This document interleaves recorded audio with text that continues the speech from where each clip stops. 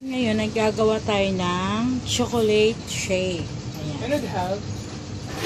Ayan, ito na yung ginawa ko. Ito yung ice cream na gagamitin natin. Tapos lagyan natin ito siya ng ice. want? Lagyan natin siya ng vanilla.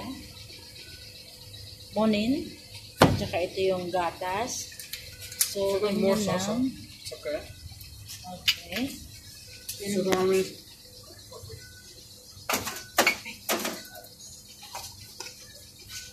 Sugar how many? Sugar. One spoon. One. Enough. Because you put sauce, that one also sweet.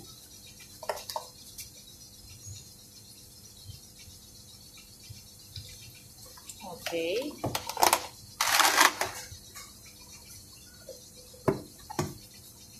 I-blender lang siya.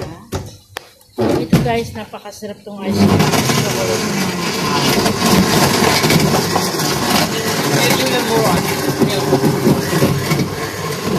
More rice.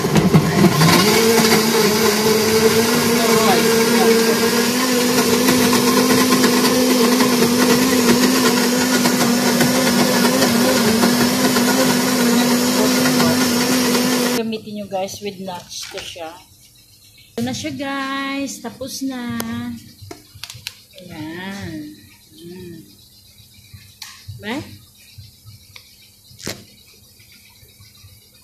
Mm. Sarap. Ayan. Sarap. Thanks for watching.